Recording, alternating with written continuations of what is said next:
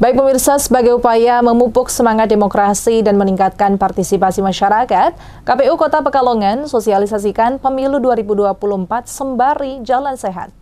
Sebagai upaya memupuk semangat demokrasi dan meningkatkan partisipasi masyarakat menjelang pemilihan umum 2024, Komisi Pemilihan Umum atau KPU Kota Pekalongan melaksanakan kegiatan Jalan Sehat menuju pemilu 2024. Berlangsung di lapangan Mataram, Kota Pekalongan, Minggu 24 Desember.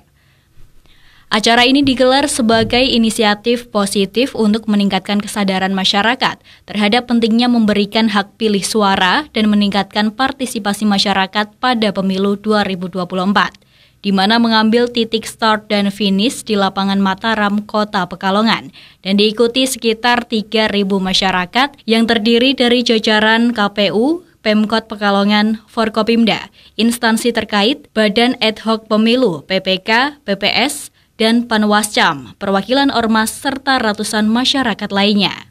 Ketua KPU Kota Pekalongan Fajar Randi Yogananda menjelaskan, jalan sehat ini sembari sosialisasi kepada masyarakat bahwa pada hari Rabu 14 Februari 2024 ada pesta demokrasi pemilu. Bagi masyarakat yang tidak dapat memilih di tempat pemungutan suara atau TPS di lingkungan rumahnya, bisa mengurus pindah memilih paling lambat 15 Januari 2024. Fajar menyebutkan saat ini tahapan masa kampanye tengah berlangsung, mulai 28 Desember 2023 hingga 10 Februari 2024.